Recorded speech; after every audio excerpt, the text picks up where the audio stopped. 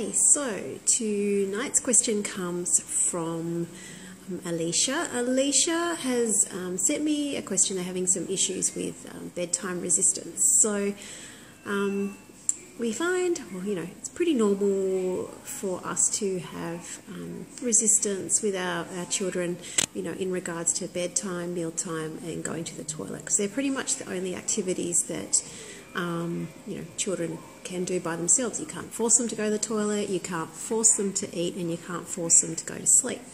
So this um, is one tip or activity that you can do with older children um, to help get them, you know, less resistance at bedtime. Um, I always talk to my clients about incentives to encourage good behaviour. Um, they're not the same as bribery, which encourages bad behaviour. So small little gifts will grease that wheel of cooperation and can reverse, um, you know, any type of resistance before it even um, occurs. So I'm going to talk today about star charts. Now, I've used star charts a lot with my kids growing up. Um, sometimes they work, sometimes they didn't work. Um, most of the time they did work because they just didn't understand it they're a little bit too young. So this works really well with kids that are three and older if you're having some resistance. So with star charts, just pick three behaviours that you want to encourage. So two behaviours that they're already doing really, really well and one that is a little more challenging and have a family meeting um, and just say to your child, You're doing so many great things. There's a few that we see that are kind of hard. So, mummy or daddy or mummy or whoever have a fun idea to help you do them better.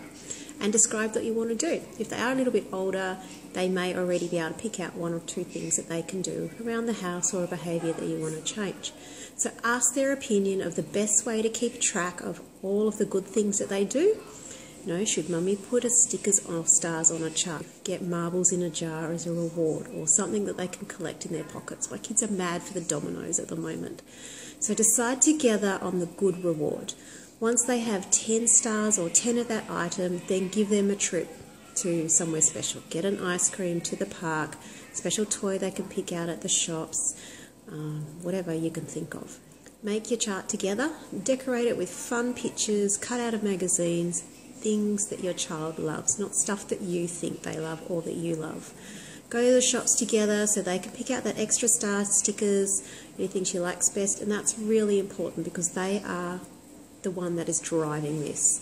Hang this chart in a very visible place. Let your child place the star on the chart each time he or she completes that task.